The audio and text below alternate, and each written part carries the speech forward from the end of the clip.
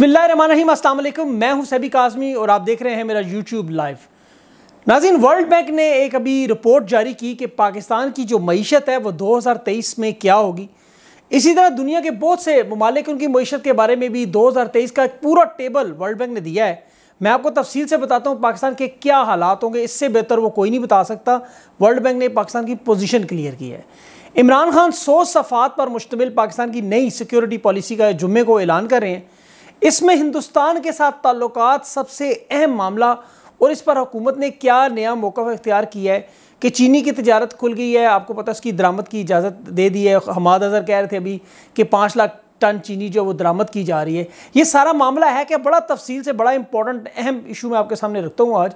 और एक और इसके अलावा जो अभी आपको पता है, पाक फ़ौज के जवानों ने मरी में, जो पाकिस्तानियों की, अपने हमवतनों की मदद की, उसके बाद मेजर गौरव की वो वीडियोज़ आई, आपको पता है। और उसके बाद लोगों ने सोशल मीडिया पर जो फैलाया जा रहा है, एक प्रोपोगेंडा इसकी बुनियाद क्या है? क्यों हो रहा है सब कुछ? इसकी थोड़ी तफसीलात आपके सामने रखता हूँ, पूरा प्रोग्राम अपने तफसील से गौर से सुनना और देखना है। वर्ल्ड बैंक की रिपोर्ट शाया हुई है, उसमें ग्रोथ रिपोर्ट होती है कि इस मुल्क मुल्क में कितनी आगे तरक्की हो रही है मीशत में। वर्ल्ड बैंक देखता है कि ये मुल्क जो है, अगले साल या उससे पहले पिछले साल क्या कर रहा था, अब आगे क्या करेगा सूरत हाल क्या बनेगी? 2019 से 2023 की ये रिपोर्ट है। पाकिस्तान की अगर आप इस टेबल में देखें कि 2019 में दो शरिया एक फ़ीसद ग्रोथ थी। उसके बाद ये गिर कर माइनस पॉइंट फाइव में चलेगी फिर 2021 में तीन शरिया पाँच और 2022 में और फिर 2023 में चार तक चलेगी है। इसके पीछे बहुत से वामिल चार परसेंट। अब मिसाल के तौर पर आप अमेरिका की देखें इसमें ग्रोथ तो वो आपको दो शरिया तीन को 2019 में नज़र आ रही है। फिर माइनस तीन शरिया चार, फिर पाँच शरिया छः और फिर 2023 में, तीस तेईस में दो हज़ार दो शरिया छः पाकिस्तान की जो ग्रोथ है, वो America, Japan, Europe central Asian ममालिक, तुर्की है इन कैरेबिन जो उसके अफ्रीकी ममालिक हैं, ब्राज़ील, जिसे बड़ा कहा जा रहा था, मैक्सिको, अर्जेंटीना अरब, इन, सऊदी अरब से इवन इनसे भी पाकिस्तान की ग्रोथ जो है वो 2023 में इंशाल्लाह बहुत बेहतर है। बांग्लादेश छः शरिया नौ, हिंदुस्तान छः शरिया आठ, पाकिस्तान से बेहतर है। लेकिन याद रखें उनकी जो मीशत शुरू ही कहाँ से हुई थी, वो आपको देखना होगा, एक बड़ा को तीस पैंतीस साल का सफ़र है। 2019-2020 के आपको पता है वबा के साल थे, बल्कि 21 भी किसी हद तक। तो पाकिस्तान के लिए खुशाइन बात यह है कि अल्हम्दुलिल्लाह जो एक तसलसल था पॉलिसियों का, वो 2023 में आपको नज़र आएगा कि आपकी इकोनॉमी की ग्रोथ और बेहतरी के मामला जो है किस तरह आपके सामने आ जाएगा सब।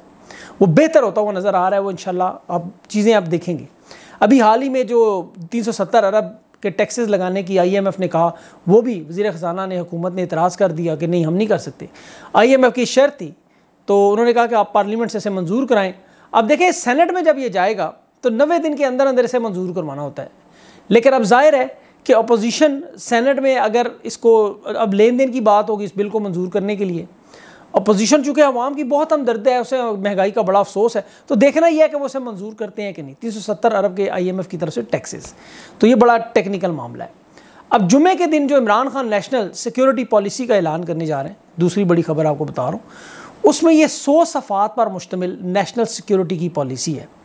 और सबसे अहम बात इसमें यह है कि ये पॉलिसी अमन के नाम से बनाई गई है। तजारत में बाहमी तावन बढ़ाने में ये पॉलिसी इस तरह तरतीब दी गई है कि पाकिस्तान का जो एक बड़ा शिफ्ट है, जो उनकी जियो स्ट्रैटेजी मैं आपको समझाता हूँ, आपके ख़त्े के अंदर स्ट्रैटेजी और एक आपकी जियो इकोनॉमी ये इधर से इधर जा रहा है।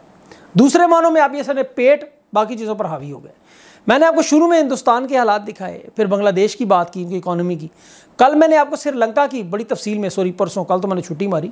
तफसील से मैंने आपको बताया था कि वही मुल्क मज़बूत हो रहे हैं जिनकी मीशत मज़बूत होगी। अभी देखें, दुनिया में पासपोर्ट्स की नई फहरिस्त आई है।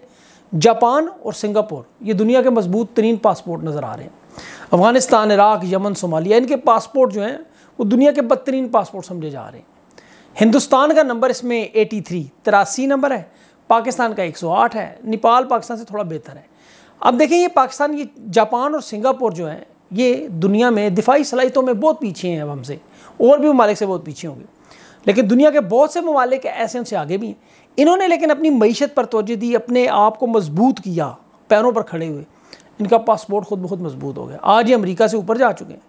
अब ये चीज़ साबित करती है कि आप अपनी इकोनॉमी को मज़बूत करें। जापान, अमेरिका का आपको पता है, अमेरिका ने जापान का क्या हल किया था। आज वो आगे निकल गया क्यों? खुराक की कमी, आपके मसाइल, ये सारे जब आप हल करें, आपके हमसाए, आपके जो पड़ोस में उनके साथ आपके ताल्लुक बेहतर हों। ये नहीं कि आप एक दूसरे के जहाज़ ना गुजरने दें। आप एक दूसरे से चावल, कपास, चीनी दाल, रोटी, ये ना ख़रीद सकें गंदम। ये दुबई के रास्ते से होकर दोबारा वागा बॉर्डर जहाँ से आप ले सकते हैं प्याज। अगर आपको मिसाल के तौर पर बीस रुपये का मिलता है, वो पूरी दुनिया का प्याज चक्कर लगा के दोबारा आपको मिले दो सौ रुपये का। तो ये मामला क्योंकि एक मुल्क में ज़्यादा प्रोडक्शन इंडिया में अगर किसी चीज़ की प्रोडक्शन ज़्यादा है तो पाकिस्तान में उस चीज़ की प्रोडक्शन नमक आप देख लें इसी तरह। तो अब बॉर्डर से मुतलक आपको पता है जो चिनारों की सरजमीन पर जो मसाइल हैं, वो हमेशा अपनी जगह कायम रहेगा। आपका एक मौक़ है, वो रहेगा। लेकिन तजारत से दोनों मुल्कों की आवाम जो है, वो महँगाई के हिसाब से निकलती है। गरीब लोग 2019 में आपको पता है, जब हिंदुस्तान, पाकिस्तान के ताल्लुक ख़राब हुए थे, फिर सफारती ताल्लुक भी ख़त्म हो गए। अब पिछले साल फरवरी में बड़ा ब्रेक थ्रू हुआ था, दोनों साइडों ने लाइन ऑफ़ कंट्रोल पर सीज़ फायर हुआ, अमन हो गया पीसफुल प्रोसेस तो अब जो नई पॉलिसी बनाई जा रही है, कौमी सलामती की, इसमें मीशत को सबसे टॉप पर रखा गया है। इसके बावजूद कि देखें, हिंदुस्तान की हुकूमत से इतनी ज़्यादा उम्मीद नहीं रखनी चाहिए कि वो अच्छे ताल्लुक की तरफ़ जाएँ। लेकिन फिर भी तजारत के लिए हिंदुस्तान, पाकिस्तान से बहुत अरसे से बातचीत करना चाह रहा है। वो ईरान से भी कर रहे हैं, इधर बांग्लादेश से भी सबसे भी। बेसिकली तजारती लोग हैं। इन्होंने पाकिस्तान को चार मुख्तलिफ़ कॉन्फ्रेंस में बुलाया बैठ कर बात करने की कोशिश, पाकिस्तान ने इनकार किया। अब देखें जो हमारे पड़ोस में, अगस्त में तो हुकूमत तब्दील हुई। वहाँ पर भी, उस मामला पर भी हिंदुस्तान, पाकिस्तान से बैठ कर बात करना चाहता था। पाकिस्तान ने कहा नहीं, सिर्फ़ मीशत पर बात कर लेते हैं, तजारत पर कर लेते हैं, लेकिन इस पर नहीं, मुल्क की सलामती उन चीज़ों पर नहीं. अब इसमें दोनों ममालिक का फ़ायदा है।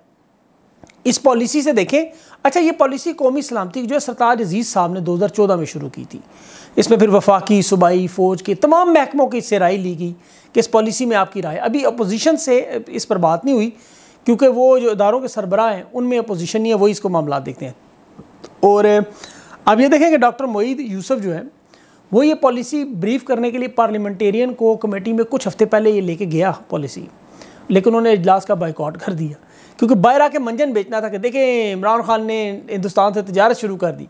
ये इन्होंने मंजन बेचना था। इस वजह से उन्होंने कभी बाइकआउट कर दो ताकि तजारत शुरू होने से पहले ही हम शोर मचा दें कि उन्होंने जी कश्मीर भेज दिया अभी जोग्राफियाई एतबार से देखें, ये तीन तरह की पॉलिसियाँ आमतौर पर होती हैं। पहले नंबर पर रियासत की जो जोग्राफिया होता है, आप कहाँ हैं किस तरह है? दूसरा उस, यानी उसकी लोकेशन है खदो खास दूसरा सियासी माहौल आपका कैसा है? तीसरी, आपकी अगले दस साल की प्लानिंग क्या है? स्ट्रेटजी क्या है? आपकी मीशत कहाँ पर खड़ी है? आपका दिफा कहाँ है? आपके हमसायों के साथ ताल्लुक कैसे हैं? आपकी दुनिया के साथ ताल्लुक खारजा पॉलिसी कैसी है? तो ये तमाम चीज़ें देखनी पड़ती हैं किसी भी हुकूमत को। और कोई भी हुकूमत हो, इस तरह की पॉलिसी को बनाने के लिए तमाम इदारों को साथ रखती है अपोजिशन को भी। बदकिस्मती से लेकिन आपको पता ही है जिस तरह चनारों की सरजमीन पर जो आर्टिकल लगा था तो फिर मामला सारे बदल जाते हैं। वरना आपको याद होगा, इमरान खान हुकूमत में आते साथ इमरान खान ने इस ख्वाहिश का इजहार किया था कि अगर मोदी इलेक्शन जीत जाए तो पाकिस्तान हिंदुस्तान के जो तल्लुक हैं, वो बेहतर हो सकते हैं। अब इसीलिए जो ये हुआ नहीं मोदी साहब अपना, आपको पता है, वो कल्टी मार गए। तो इमरान खान अब बात बात में जो गुस्सा निकालते हैं अपना, वो इसी बात का है। क्योंकि उन्हें उम्मीद थी कि ये होगा मामला बेहतर होंगे, हम आगे चलेंगे, लेकिन ऐसा हुआ नहीं। लेकिन अब पाकिस्तान को भी देखना ये है कि देखें, अब हमारे पड़ोस में, जहाँ अगस्त में हुकूमत बदली, आप ज़रा ख़ुद देखें अपने ईमान से अब मामला। मैं खुद आपको पता है, उनके साथ किस तरह के आपको प्रोग्राम बताता रहा सारे। आप देख लें, हमारी बड़ी गलतियाँ सामने आ गई। किस तरह? एक पुरानी हुकूमत हमने वहाँ हटाने में मदद की, दूसरी नई हुकूमत लाने में। तो हमने कहा, जी, हमारा ये बॉर्डर है, इस साइड पे मज़बूत हो जाएगा। फिर पाकिस्तान के अंदर जो इस तरह के लोग शोरश कर रहे थे, जो वो आपको पता जिसको भी इनको फड़गा भी दिया, इन्हें पनाह नहीं मिलेगी। लेकिन हुआ क्या, ये दोनों मामला सही साबित नहीं हुए। माजी से, माजी में वहाँ, उधर से छोटे मोटे हमले होते थे। इन्होंने तो पूरी ड्यूरेंट लाइन को, पूरे बॉर्डर को मानने से इनकार कर दिया कि है, ये होनी नहीं चाहिए, बिल्कुल, सिरे से। पाकिस्तान अल्लाह के बंदो सतावन ममालिक की कॉन्फ्रेंसें करवा रहा है। मदद के लिए, इमदाद के लिए मान रहा है। दुनिया पूरी दुनिया को दुश्मन बना रहा है आपके लिए। लेकिन जो हालात हैं वो आपके सामने हैं। अब पाकिस्तान के मफाद को सामने रख कर बड़े फ़ैसले करने हैं। और ये फ़ैसले कुछ बड़े मुश्किल हैं। आप यकीन करें हिंदुस्तान के साथ जो तजारत का मामला है, हमसायों के साथ ताल्लुक हैं। आपके देखें हमसायों में हिंदुस्तान है, ईरान है, अफ़गानिस्तान है, आपकी चीन है। आप बड़ी इंपॉर्टेंट जगह पर हैं। तो हमसाए, आप दोस्त तो आप बदल सकते हैं। अब जब चाहे बदले, लेकिन आप पड़ोसी तो नहीं बदल सकते हमसाए तो नहीं बदल सकते। आपने इन्हीं के साथ रहना है। इसलिए ये मामला बड़े ज़रूरी हैं, ये पॉलिसी जुम्मे को आप सुनेंगे इन सौ सफ़ों की डीक पर अभी थोड़ी सी हुई है इसमें। फ़ौज में अच्छा मरी में जो ऑपरेशन हुआ, तीसरा एम पहलू, उसमें तस्वीरें आपको पता है। एक तरफ़ तो अवाम ने बड़े फ़ख्र से फ़ौज पर लगाई, दूसरी तनकीद को आज़ादी इजहार राय के नाम पर सोशल मीडिया ग्रुप्स में, व्हाट्सएप में, फ़ौज के ख़िलाफ़ मज़ाक, तसब, तजहीक, नफ़रत, ये पैगाम आए बड़े। देखे होंगे आपने भी सिविलियन बालादस्ती के फ़ैशन के शौक में इसको लोग फॉरवर्ड करते रहे। अब देखिए, फ़ौज में है कौन? आपके कोई दोस्त यार, बचपन के कोई यार होंगे, कोई रिश्तेदार होंगे गली मले का होगा कुछ चाचा मामे का, कोई अंकल का, किसी दुकान वाले का बेटा, ये सारे भतीजे या भतीजा, किसी का रिश्तेदार, ये सब सिविलियन है। पहले ये सारे लोग सिविलियन है, बाद में फ़ौजी हैं। फ़ौजी फ़ौजी नहीं होता पैदा ही, वो पहले सिविलियन होता है। लेकिन ये नफ़रत जो है, बड़ी जान बूझ कर बड़े तरीके से फैलाई जा रही है। आज़ादी इजहार राय का तो बड़ा शोर मचाते हैं ना, आप देख लें। बरतानिया में उसमें, हिंदुस्तान में, अमेरिका में, इनकी फ़ौज क्या फरिश्ते हैं? वो क्या करते हैं? दूसरे ममालिक में ज़रा देखें आपको गोल पर जाकर पढ़ें, उनकी फ़ौजों ने वहाँ पे क्या क्या किया जिन इलाकों में जीतने के बाद मफतू इलाके के साथ क्या हाल होता है? क्या करते हैं वो? लेकिन मजाल है उनके सहाफ़ियों की, सोशल मीडिया की, उनके लोगों की अपनी फ़ौज के ख़िलाफ़ को बातचीत करें, लगाएँ, झुकतें। आपका वज़ी अजम कोई फ़ौजी है? वो एक सिविलियन है, इमरान खान कोई फ़ौजी है? क्रिकेटर था। नवाज़ शरीफ जिस तरह था या बेनज़ीर भुट्टो जिस तरह थी अब मियाँ साहब पनामा केस की चोरी में पकड़े गए, जरदारी साहब सरे महल में पकड़े गए। अब उन्होंने क्या जी, इल्ज़ाम फ़ौज पे लगा दीजिए। देखें, अगर आप मैंने कुछ कहें तो ये आपको फ़ौरन जी, जर्नेलों की करप्शन है जी। आसम बाजवा, वो पीज़े बना रहे, वो पापा जॉन पीज़े, उनके फार्म। परवेज़ मुशरफ देखें, बाहर है। राहिल शरीफ देखें, बाहर है। क्यानी साहब बाहर है। लेकिन ये ये नहीं देखते कि सारे चीफ जस्टिस भी बाहर हैं। सारे सियासतदानों की आपकी असम्बली में उनकी सारी फैमिलियाँ बाहर हैं। आपके मौजूदा जो होने वाला चीज़, उसकी बीवी बाहर की दोरी शहरीत के सारे, आधे ख़ानदान बाहर जरदारी साहब दुबई में सारी ज़िंदगी, मियाँ साहब, अभी भी बाहर इमरान खान साहब के अपने बच्चे बाहर और जब बंदा फ़ौज से रिटायर हो या किसी इदारे से रिटायर हो तो उसने कहाँ रहना है, किधर रहना है उसकी मर्ज़ी है। अगर उसने करप्शन की है तो अदालतें आपकी आज़ाद है। बिल्कुल आज़ाद है, मैं सही कह रहा हूँ आप मुझे पता है आप हंस रहे हैं कुछ। लेकिन देखें, इस्लामाबाद हाई कोर्ट ने पीर सुवा में आपकी जो मनाल है, उसको सील करने का हुक्म दिया। सीडीए को नेवी के जो गोल्फ क्लब है, उस पर कब्जा करने का हुक्म दिया। मिलिट्री के जो डेयरी फार्म है, आठ हज़ार एकड़ राज़ी, उस पर उन्होंने दावा था उनका। उस पर कब्जा छुड़वाया गैर कानूनी दिया। मरगला नेशनल पार्क में कहा, जी, वो सारी बाकी ज़मीन डाल दें। आज अगर अदालत चेक करिए तो ये जर्नेल जिन पर आप बार बार इल्ज़ाम लगाते हैं, लेके जाए ना इनको अदालत में, इनके ऊपर केस करें, किसी ने रोका है आपको? फौज को चीफ जस्ट, आपको ये तो नहीं कहती कि आप इस तरह ना करें। फौज तो चीख चीख के कहते हैं, हम सियासत में मुलवस नहीं, हमें लदा करेंगे। ये घसीट घसीट कर लाते नहीं, आप सियासत में हैं, हमारी आपसे डील हो रही है। फौज कहती है, डील वाले का नाम बताओ भाई, किससे डील हो रही है? तफसीलात बताओ। मुनाफ्त का ये आलम है नहीं जी, नाम भी नहीं बताते और हल्की सी छुरी भी छोड़ दें। मरी में जहाँ हैवी मशीनरी हेलीकॉप्टर क्रेन नहीं जा सकती थी, जवान बेलचे उठा के मारते रहे। हमारे खुद रिपोर्टर वहाँ पर मौजूद ग्राउंड में, मैंने मना किया, मैंने कोई रिपोर्ट नहीं बनानी। आँखों से उन्होंने अपनी देखा सारा। खुद वो कह रहे, मैं एयरपोर्ट बनाना नहीं चाहता।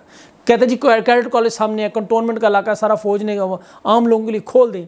मरी में, मियाँ साहब का भी घर है, गवर्नर हाउस भी है, खाकान अब्बासी साहब एयर ब्लू एक बहुत बड़ी एयरलाइन के मालिक वज़ी अजम रहे, उनका घर है वो, सारी सियासी जमातों के वहाँ लोगों के घर है। कितने लोगों ने अपने घर आवाम के लिए खोले? कि जी, फौज खोल दे सरकारी, ये सारे लोग नहीं, इनके घर कहाँ से आए? ये कुदरती आफात है, देखें, इनमें कोई किसी का कोई कुछ नहीं कर सकता, हादसात हैं। सानियात हैं। इंसान को सबक सिखाने के लिए आते हैं। आप अगला इंशाल्लाह नहीं होने देना। हादसात की आड़ में ये लोग फ़ौज की बजाय मदद करने के, अब कुछ मजहबी तंजीमें, उन्होंने झंडे लगा लिए। सरकारी ट्रैक्टरों के ऊपर अपने झंडे लगा कर आप हिंदुस्तान के इमेजेस देखें वीडियोस देखें। पाकिस्तानी साफ़ियों की अब बातें सुने, एक एक लफ्ज़ ये मेजर गुराया, गौरव आराया का उठा के, अगर वो मेजर साहब इतने ही ईमानदार हैं, उनसे कहें अपनी फ़ौज पर भी एक वीडियो बनाएँ। वो जो खाना ना मिलने की वजह से जवान उनके क्या कहते हैं? ज़रा बनाएँ उस पर वो कभी भी नहीं बनाएँगे। क्लास सिस्टम पे बनाएँ अपनी जो फ़ौज के अंदर बड़े अफसर के साथ छोटे की, वो आपको पता नहीं कि जो ज़ात पात का सिस्टम है। यहाँ तो हर महीने में अफसर जो है वो मैस में जवान के साथ बैठ के खाना खाता है। ये जवाब में जर्नेल जर्नेल जर्नेल करप्शन आर्मी में छब्बीस, सताईस जर्नेल हैं भाई। अब तक पाकिस्तान में कितने जर्नेल आए होंगे? आबादी के तनासब से टोटल निकालें, पाँच या दस मैक्सिमम जर्नेल्स करप्शन में मुलविस होंगे, जिन पर ये इल्ज़ाम है। तो उसकी बुनियाद बना के ये छः, सात लाख की फ़ौज को बदनाम करते हैं। गालियाँ देते हैं। आपके अज़ीज़ रिश्तेदार कहाँ कहाँ ड्यूटी नहीं कर रहे? आप अपने दोस्तों में देखें, रिश्तेदारों में देखें। और जी तनख्वाह मिलती है, वो अपनी मर्ज़ी से गए थे। तो भाई तनख्वाह तो सारों को मिलती है डॉक्टर को भी मिलती है, सारों को मिलती है तनख्वाह। मुफ़्त के तो कोई लेकिन एक इदारा है, जो काम तो कर रहा है डिलीवर तो करता है। मरी साफ़ किया है कि नहीं आपके सामने? यहाँ तो तनख्वाह भी ले नहीं लेते हैं, काम भी नहीं करते, ऊपर से गालियाँ भी। पाकिस्तान की देखें सारी सियासी तारीख में। आप मेरी इस वीडियो के दौरान अपने बुज़ुर्गों से, नौजवानों से, मैं कह रहा अपने बुज़ुर्गों से पूछे कि फ़ौजी हुक्मरान जो गुजरे थे, उनका दौर अयूब खान हो, ज़ियाउल हक मुशरफ हो। आप उनसे पूछें अपने बुज़ुर्गों से कि जी, बाबा ये किसका दौर सबसे बेहतरीन था? वो आपको बताएँगे, अयूब खान का दौर बेहतरीन था मुशरफ का दौर बेहतरीन था, ज़ियाउल हक का दौर बेहतरीन था। वो कभी आपको नहीं कहेंगे, जी, बड़ा नवाशी का दौर बड़ा बेहतरीन था। ये तरक्की करते हैं, मीशत बढ़ती है आगे। लेकिन जब ये सियासी लोगों के चंगल में फंस के वो सियासत के चक्रों में फंसते हैं, जिस तरह आजकल शहबाज शरीफ साहब कोशिश कर रहे हैं कि दोबारा उनकी गेम सेट हो जाए, वहाँ पे सारे मामला ख़राब होते हैं। लेकिन मेरी आपसे दरख्वास्त है, ये जर्नेल को गाली देनी है, खुल के दें। किसी के हमारे मामे चाचे नहीं हैं। लेकिन किसी ने पिज़्ज़ा बनाया, किसी ने प्लाज़ा बनाया, कोई कोई बाहर गया हुआ है बच्चों को, जो मर्ज़ी उनको कहें, लेकिन उनकी आड़ में इदारे को और फौज के फ़ौजियों को बदनाम ना करें। ये जो करने वाले बदनाम है आप इनके सारों की शरीयत है सारे दोहरी शरीयत वाले। इन्होंने तो कुछ गोली गलोच करके निकल जाना क्योंकि रहते ही बाहर हैं। किसी के मियाँ साहब की तरह लंदन में फ्लैट है किसी के किधर है। आप लोगों ने वहीं रहना है। तो जो इनके प्रोपागेंडे में आ रहे हैं ये मियाँ साहब ये अपनी ज़ाती रंजिश है उनकी। उनको तो नुकसान हुआ है भाई आपका क्या गया है? इसलिए इस चीज़ को समझने की कोशिश करें। इन अगले किसी प्रोग्राम में डिटेल में आपको इस, इस पर सिर्फ़ इस पर मैं पर्टिकुलरली आपको तफसील बताऊँगा। अपना ख़ास ख्याल रखें मुझे इजाज़त दें। अल्लाह हाफिज़।